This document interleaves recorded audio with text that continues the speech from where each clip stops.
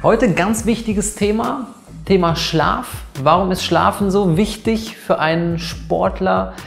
Wie kann man vielleicht mit dem richtigen Schlaf sein Muskelwachstum beeinflussen? Und wie halte ich es mit dem Schlafen? Das ist so das Thema heute.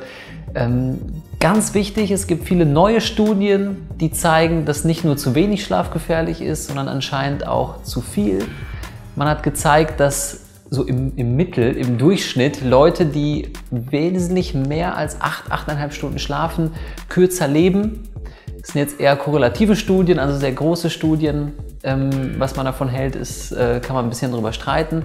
Wichtig ist aber tatsächlich, dass man nicht zu kurz und auch nicht zu lange schlafen soll.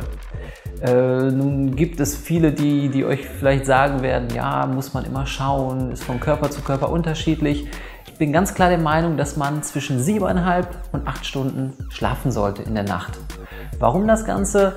Der Schlaf teilt sich in vier Schlafstadien ein und eine REM-Schlafphase. Das heißt, es gibt praktisch so fünf Stufen, die der Körper nachts regelmäßig durchläuft. Und besonders in dieser Tiefschlafphase, also in der Phase, in der wir erst ein bisschen später reinkommen und die dann wiederholt wird, gibt es eine sehr hohe Wachstumshormonausschüttung. Wachstumshormone hatten wir schon an anderer Stelle, sind die Hormone, die wirklich für die Muskelregeneration zuständig sind, die für den Muskelaufbau zuständig sind, die wir auf jeden Fall haben wollen. Die letzte Tiefschlafphase ist jedoch recht spät. Das heißt, ich habe mir mal so, so Schlafphasen von, von sehr vielen Menschen angeschaut und die letzte Tiefschlafphase ist zum Teil erst so nach sechseinhalb, sieben Stunden. Das heißt, um die auch noch mitzunehmen, brauchen wir wirklich mindestens diese sieben, siebeneinhalb Stunden Schlaf. Und das werdet ihr auch merken. Wenn ihr wirklich so ab siebeneinhalb Stunden schlaft, bis acht Stunden, werdet ihr wirklich auf eine längere Zeit gesehen wirklich mehr Erfolge erzielen. Mein Tipp auf jeden Fall siebeneinhalb bis acht Stunden. Danach Powernapping 15 Minuten. Zeige ich noch in einem anderen Video, wie das alles so funktioniert.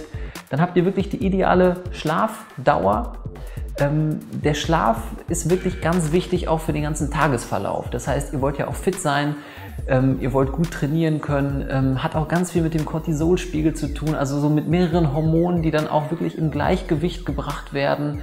Also Schlaf ganz, ganz wichtig, besonders für den Sportler. Ihr wisst, die Muskeln wachsen nicht beim Training, sondern in der Regeneration.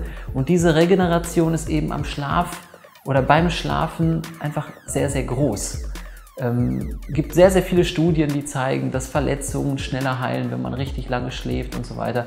Also denkt einfach daran, ich will euch jetzt nicht zu lange mit dem Thema überfordern, weil es wirklich ein sehr, sehr komplexes Thema ist.